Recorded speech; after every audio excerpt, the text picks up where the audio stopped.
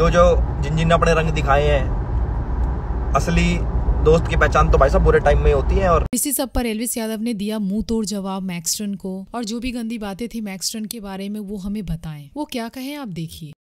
अरे जितने भी इंटरनेट पर कूल बने हैं ना ये ये लेफ़्ट लोबी वाले ओ फेक हिंदू है मुनावर दिया ये देखो मैक्सटन को पीट दिया ये कर दिया वो कर दिया इसको ये होना चाहिए इसको फांसी होनी चाहिए इसको मर्डर कर दिया इनने वो कर दिया।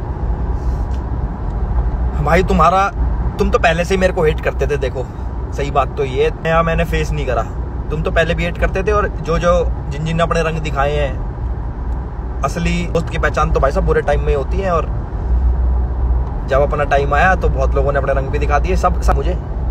ऑल दो मैं बड़ा चील बंदा हूँ, पर सारी चीज़ें देखता हूँ, सारी चीज़ें याद रखता हूँ कि कौन मेरे बुरे टाइम में साथ रहता, कौन भाग जाता, कौन धोखा करता। धोखेबाज तो कई आए हैं। एक तो बहुत बड़ा धोखा है अपना।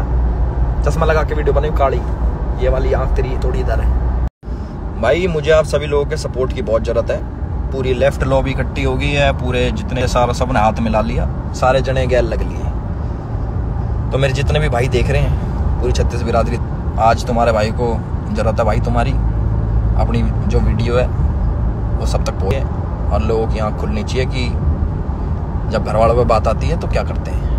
एलविस यादव सच ही कहें, यदि किसी के फैमिली पे कुछ भी बात आती है तो कोई कहाँ कैसे चुप बैठने वाला है? और क्या आप सभी ने फॉलो किया है? मैक्सटन ने तो कैमरा और साथ ही साथ रिकॉर्डर भी ऑन कर लिया था पिटाई खाने से पहले। ये कैसे हो सकता है? कोई यदि पिटाई खाने वाला होता है और वो पहले ही क्या कैमरा और अपना रिकॉर्डर ऑन कर लेते हैं? या फिर वो पुलिस को बुलाते हैं? तो क्या ये प्री प्लान मैटर थी? या फिर कुछ और? आप हमें कमेंट में बताएँ। और आपको क्या लगता है, एलविस यादव ने सही किया या फिर मैक्सटन ने? मुझे तो लगता है, एलविस यादव ने ही सही किया है। आपको क्या लगता है, आप प्लीज़ ज़रूर कमेंट करें।